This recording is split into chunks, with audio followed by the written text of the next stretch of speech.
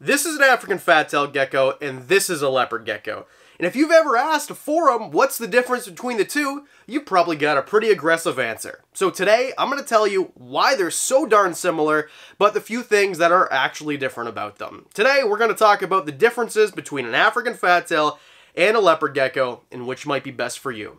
I'm Adam, this is Diglett, this is Littlefoot. You're watching Wickens Wicked Reptiles. Stick around.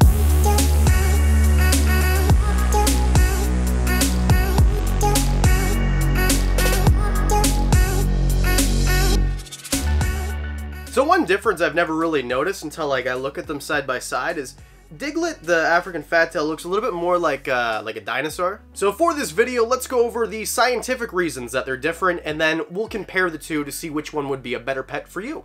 So first of all, the range is very different. Uh, leopard geckos are from places like Iraq, Afghanistan, parts of northern India where African fat-tailed geckos are from Africa. There are three main differences and we'll go over them. I guess the first one is, I mean, their range, which we just kind of went over.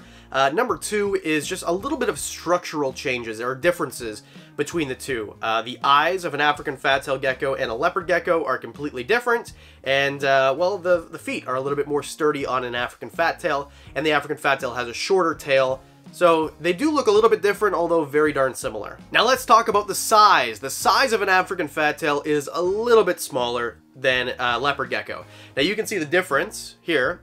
This is a full-grown leopard gecko. This is a juvenile or subadult African fat tail. So the African fat tail will never get as big as a leopard gecko's on average. On average, an African fat tail is going to be between 7 and 9 inches and a leopard gecko between 7 and 10 inches but there are giants and super giant leopard geckos, and I don't think that there are those morphs for African fat tails, or at least I've never heard of them. So for that reason, and we'll treat this like a head-to-head, -head, we'll go one apiece, uh, so we're tied up at, at one. Number two, this goes hand in hand, um, the difference between the enclosure size. There isn't one, so this is going to be very simple. A 20 gallon is what I would recommend for one uh, leopard gecko or one African fat tail, although you could probably house a pair. I, I house Littlefoot and her uh, clutchmate Sarah, her sister Sarah, in the same enclosure, which is a 20 gallon. So you could do that if you wanted to. African fat tail, same thing. Uh, of course, you know, never put two males together, never put a male and a female together full time. Um, I have care guides for both, leopard gecko up here. The difference between the enclosures between the two uh, is very simple. Just the substrate might be a bit different because leopard geckos, they're going to need a drier type of environment and uh, African fat tail needs a little bit more humidity. Um, but uh, in the care guides, I talk all about the substrate that you'll need if you want to keep either one. So after two rounds, we're tied at two apiece. Next, we're going to talk about temperature, humidity, and lighting, and these things are somewhat similar. The big difference is humidity. Uh, now for temperature, uh, I go over that in the care guides, the, it's going to be very similar. They're not going to have too much of a difference in temperature, maybe, you know, like 5 degree recommendation difference in hotspot type thing, uh, but otherwise very similar. The humidity is where things really change. Uh, for a leopard gecko, 30-40%. That's what I recommend for a leopard gecko. For an African fat-tailed gecko, you need to be 50-ish percent. Between 40 and 60 is generally what is recommended.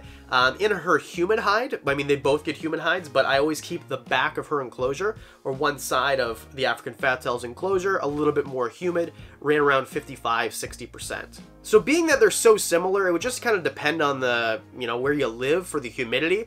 So again, it's going to be a tie. This isn't going to end in a tie, by the way. Stick around, but for now it's three apiece. The diet between the two, identical, almost. It's almost completely identical. You're to want uh, insects. They're both insectivores, so no vegetation, no flowers, no plants, no fruit, no nothing like that is necessary for them to eat. Uh, they're going to eat things like dubia roaches and crickets and mealworms and superworms, appropriately sized. So I said that it's a similar, it's actually an identical diet. It's basically the exact same. So whether you want uh, African fat tail or a leopard gecko, the food that you're going to need to keep and need to feed them is completely the same. So, so yeah, we're, we're still tied. It's going to be four apiece, so... Two more categories, and we're going to have a winner in each one. These are really what separates African fat tails and leopard geckos. Behavior. Now, obviously, this has actually been a pretty good you know, handling session with my African fat tail Diglett. She's not a full-grown adult. She does get a little bit hissy sometimes when you pick her up out of her enclosure. She's not quite as boisterous. She's a little bit more shy, where with uh, Sarah, with Littlefoot and her sister Sarah, they'll come right up to the glass. They think you've got food every time. I haven't got there with this African fat tail yet.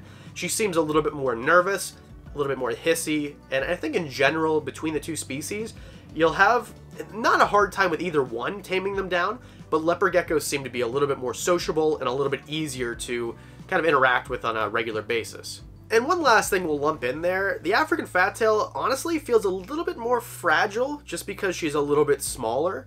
So I think we're going to give this one to the leopard gecko, which means we're at 5 for the leopard gecko and 4 for the African fat tail. One more category left. Last category, price, availability, and morphs. And I think you guys know where this is going. Uh, in terms of African fat tails, they're harder to find, the morphs are more expensive and not as plentiful. So in general, it's just easier to find what you want in a leopard gecko or find one at all. If you go to a reptile expo, you'll see leopard geckos on every other table. With African fat tails, this was the only one at the last expo that I went to. So it's going to be a little bit harder to find something like an African fat tail in comparison to a leopard gecko. Uh, yeah, morphs are more expensive. Just all around, I think that there's really no way that I could have the African fat tail even be in contention for this category. This category for sure definitely goes to the leopard gecko. So there you go. I mean, this is kind of a head-to-head -head where they're so similar. It's really up to you what you like best. But if I had to pick a winner, I would definitely say leopard gecko wins, and the score ended up being four to six. But I mean, if you want an African fat tail, I don't think they're any harder to take care of at all. It just, you know, simple things like, you know, the price is a little bit different, the availability is different, the morphs are different, uh, and then it takes maybe a little bit more work, like the, you know, 5% more work to get them really handleable and tame them down. But otherwise, I mean, both are fantastic animals. Eh, it's hard to pick a winner in this one. And there you go. That is the major differences between African fat tails and leopard geckos. Geographic region, foot and eye structure, and their humidity levels. That's basically it. Those otherwise they are so much the same. And in the next time someone screams at you on a forum, they're different. They're completely different. They're not completely different. I mean, they're different species, but at the end of the day, the care requirements are so darn similar. If you did research for one, change your humidity, and you've got you've done the research for the other one also. Now, I want to mention something. Uh, if you like this video, of course, thumbs up, hit that like button, hit subscribe. I totally appreciate that. This week, we launched something new. We've got a Patreon page now. The support has been overwhelming. Thank you so much for those of you who have already subscribed. This is honestly, I can't believe how many of you have been so supportive. If you're a subscriber on this channel, I do my best to put out videos twice a week. That's not going to stop. The quality is going to continue to get better. But if you want to see behind the scenes stuff, bang! That's how you sync up the audio when you do or like I've been kind of making a b-roll here of every time I mess up and can't say the words properly, or... Next, we're going to talk about... Uh, you know, just kind of how to set things up if you want discounts on merch, if you want a personalized thank you video, and if you want a shout out like we're going to do right now, join on Patreon for as little as a dollar a month. You know, your money goes to keeping animals like Littlefoot and Diglett a little bit nicer. Maybe I can like upgrade and buy more PVCs. And until April 25th, if you sign up for the All Access or VIP memberships, I'm going to say your name, like right now. Donnelly Lewis, thank you very much for signing up and being an All Access member. I really appreciate it. Uh, Isaiah Clinkscales, thank you very much. I appreciate it. Jim Wickens, Thanks for giving me a cool last name, and also thanks for signing up for uh, the All Access membership there. I say that you bought something with your discount. Very heavy discount if you sign up before the 25th of April.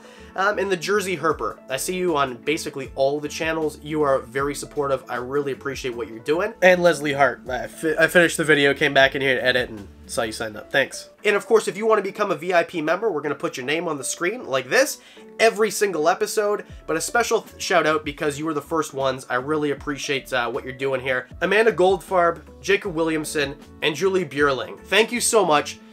It honestly means the world to me. I know that it's, you know, not a ton of money, but at the same time, you know, I'm separating you from your money so that you can support the channel and you can support really cool animals like Diglett. It's pretty cool, right, Diglett? Yeah, she's into it. Because I do videos twice a week, that means I'll see you